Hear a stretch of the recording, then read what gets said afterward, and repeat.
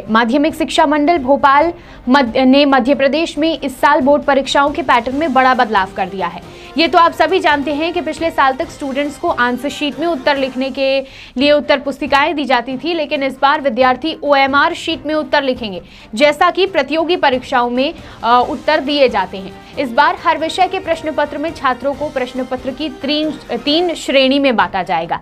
इसमें पहली श्रेणी, वस्तुनिष्ठ प्रश्न, यानी बहुवैकल्पिक प्रश्न होंगे। इसके बाद दूसरी श्रेणी जो है विषय परक यानी सब्जेक्टिव और तीसरी श्रेणी में विश्लेषणात्मक प्रश्न, यानी एनालिटिकल प्रश्न पूछे जाएँगे। छात्रों को परीक्षा में 50 प्रश्न हल करने को दिए जाएँगे और परीक्षा में लिखने के लिए कॉपियाँ तो मिलेंगी।